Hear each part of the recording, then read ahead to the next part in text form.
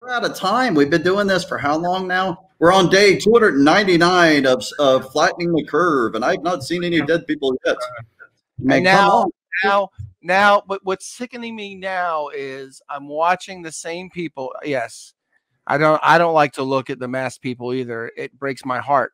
I try to look because I, I'm really I'm gullible, not gullible, affable. Affable is the word I'm looking for. Maybe maybe you're gullible and affable. I'm gullible and affable. Yes, but I'm but so I I I I usually have a smile on my face. I, I really love people. Like I love people. I love discovering new people. I love meeting somebody I don't know and finding out what's going on in there. I love it. And when I walk by people, I try to, I, I don't try, I usually have a smile, but now when I look at them, my heart is is breaking inside. Yes. yes. I can't believe you. I just can't believe you're still doing this. I I would have never guessed if we were this time last year, if you said it was going to go this long, I would have told you you're not getting it right. There's no way. But okay. But in all of this, we know this is going on. We are amazed by it because we continuously talk about it. It is most certainly high up on the top of our radar for list of things that are that are that are taking up our thoughts. And so, but what's next is what's troubling the most is that the people are lining up I turned on the news. I normally don't turn on the news in the morning, which is really odd. It must have been Holy Spirit led because I don't turn the TV on in the morning. I, I, I usually listen to like somebody's show on YouTube while I'm in the shower getting ready. I'm listening to preaching. I'm doing that. I turn the TV on. It's the local news in Charlotte, North Carolina, and they're showing people at five o'clock in the morning lining up to get the vaccine in their cars.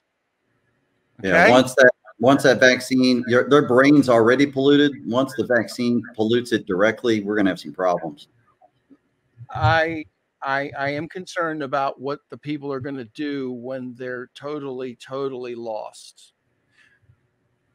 The scripture said in the days of Noah that the people, their flesh was corrupt and their minds were continuously evil.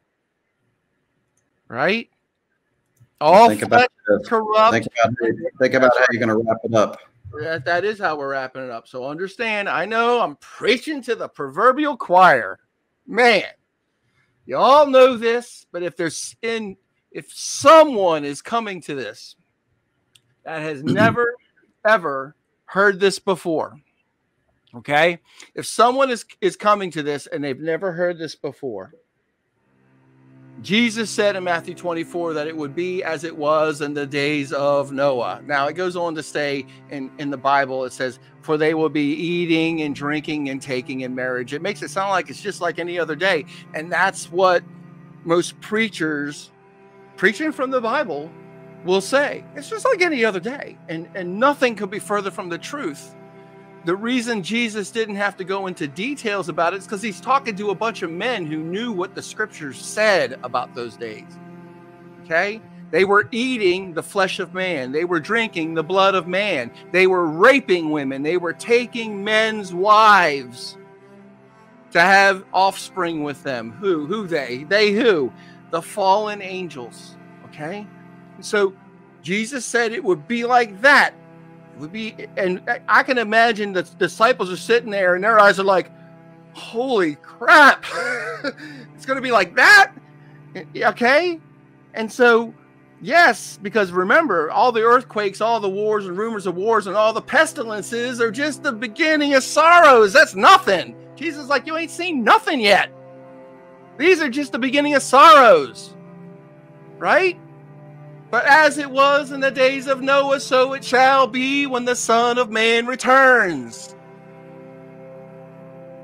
Get your house in order, cast down every imagination and every high thing that exalts itself against the knowledge of God. Not like the knowledge of God, like, yeah, I know who he is. No, no, like anything that God says. If it exalts itself against what God says, cast it down and bring it into captivity to the obedience of Christ Jesus.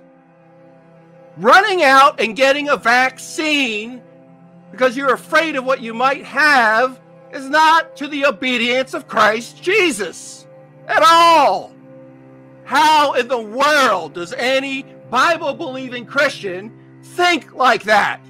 Cast down your imaginations in Jesus' name.